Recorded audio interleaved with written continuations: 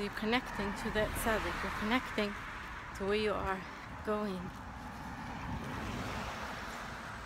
So, anytime, wherever we are, the person is just even lighting a candle for a tzaddik.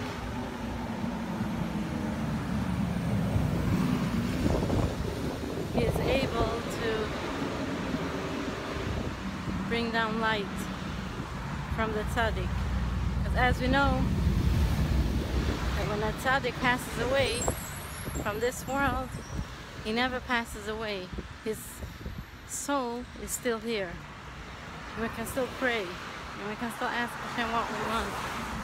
And the tzaddik will help us here, even on this world. Even the tzaddik is not alive anymore. The tzaddik can help us. As we see by all the tzaddikim who go to the Tzion, even just having the thought, saying with your mouth,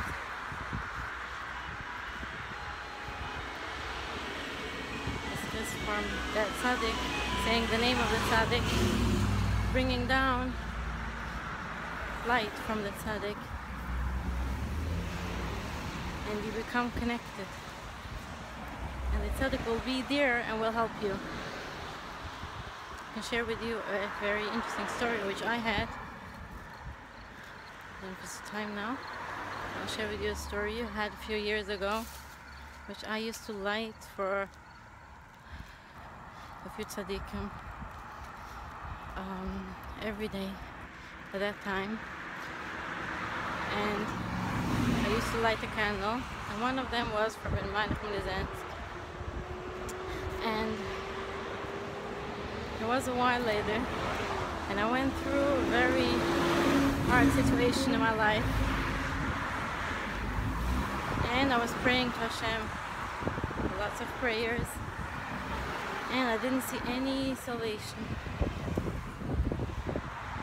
until was a woman, and she was able to help me out with what I went through and save me from where from where I was.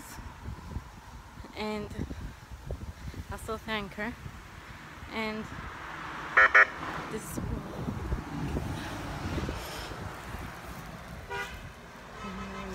I'm sorry. oh my goodness. And this woman, she told me that she was Einiko of that tzaddik, which the tzaddik name was. She's, she's, she was Einiko of Rabbi Meilech So, when you do something for a tzaddik, the tzaddik will pay you back whatever you need. Tzaddik will always be there and will pay you back. You don't need to be lost.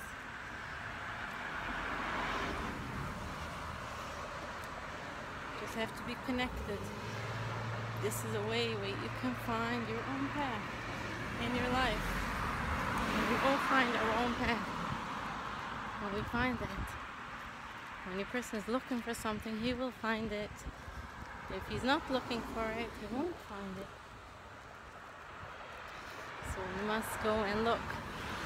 And then Hashem will help us. We will be able to find what we need.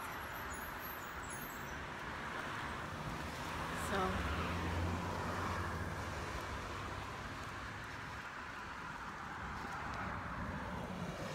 So I wish you all a day of happiness and a day of health and a day of wealth.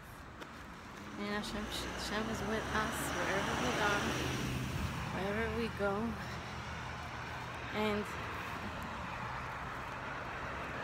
be connected to who we are.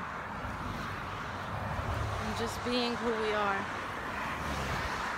That will make us happy. And staying strong and being connected to ourselves.